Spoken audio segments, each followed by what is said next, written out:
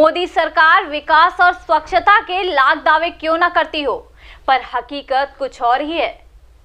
आज हम आपको यूपी के श्रावस्ती लेकर चलेंगे, जहाँ पर सरकार की बहुउद्देशीय योजनाओं को कैसे पलीता लग रहा है, ये दिखाएँगे। साथ में ये भी दिखाएँगे कि गाँव का प्रधान किस तरीके से तानाशाही कर रहा है, कि गरीब जनता परेशान है। देखिए ये रिपोर्ट।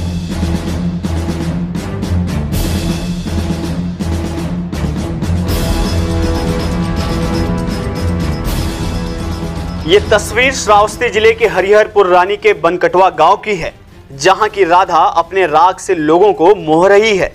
लेकिन गाँव में प्रवेश करते ही शिक्षा का मंदिर, यानी गाँव का प्राथमिक विद्यालय की स्थिति ये है कि जिसकी हालत आप अपने टीवी स्क्रीन पर देखकर ही अंदाज़ा लगा सकते हैं कि इस गाँव का क्या विकास हुआ है। विद्यालय परिसर में भारी जल भराव बना रहता है, जिसमें गिरकर बच्चे चोटिल होते रहते हैं। स्कूल की पिछले कई सालों से मरम्मत और रंगाई पुताई नहीं कराई गई है।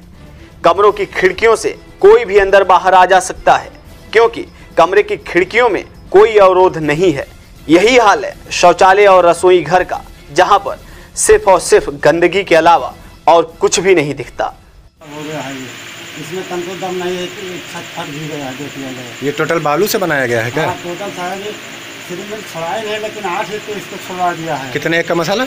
आठ एक को हाँ। तो ये जितना जितना मिस्त्री को साहब ये कहे उतने उन्होंने काम किया। हम लोग काम इसलिए मिस्त्री के संग लेबरे किया है वो भी पैसा नहीं मिला हुआ है। इसकी प्लास्टर भी नहीं हुआ है ये प्रधानमंत्री आवास है।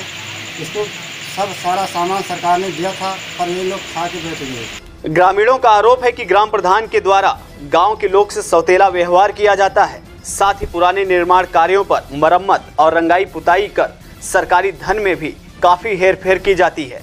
इसके अलावा लोगों को जो आवास दिए गए हैं, वह भी मानक विहीन है।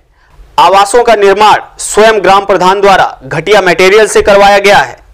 आवास पूर्ण होने से पहले ही छतों और दीवारों में दरार पड़ने लगी है, जिससे कभी भी दुर्घटना हो सकती है। ग्रामीण वासियों ने नरेगा मजदूरी की भी पोल खोल दी है। ग्रामीणों ने बताया कि ग्राम सभा के कार्य में दूसरे गाँव के लोगों ने भी कार्य किया है। साहब बताओ हम अपन लड़के बच्चे काम छोड़ कर तब जाके काम करी तब फिर भी पैसा मांगे तो बात नहीं करबे तो सुन लिया आपने कि तीन साल से प्रधान ने इस गरीब जनता को एक फूटी कौड़ी भी नहीं दिया है।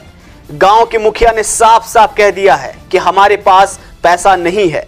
अब ऐसे में योगी जी आप ही बताइए कि आपके प्रदेश की इन गरीब मासूम जनता का क्या होगा जिसमें आपके सरकारी तंत्र से इन पे वार किया जा रहा है परेशान किया जा रहा है। नरेगा के पैसा भैया हम सब माँ हमें तीन साल भैया पैसा नहीं मिला है। दस काम के लड़के के गोद में बच्चे को लेकर अपने परिवार का दर्द बयां करती, इस बुज़ुर्ग महिला का कसूर क्या है?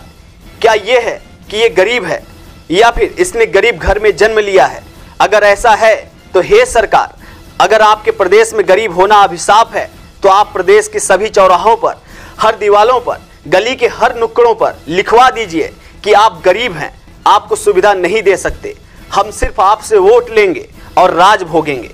समझा दीजिए आप अपने उस बनकटवा के ग्राम प्रधान को, जो तानाशाही दिखा रहा है, जो अपने चौखट से पिछले तीन सालों से यह कहकर भगा दे रहा है कि हमारे पास एक पैसा भी नहीं है। चलिए, अब आपको श्रावस्ती के डीएम साहब से मिलवाते हैं, जो गाँव के विकास पर क्या कह रहे हैं। आप ही सुन लीजिए।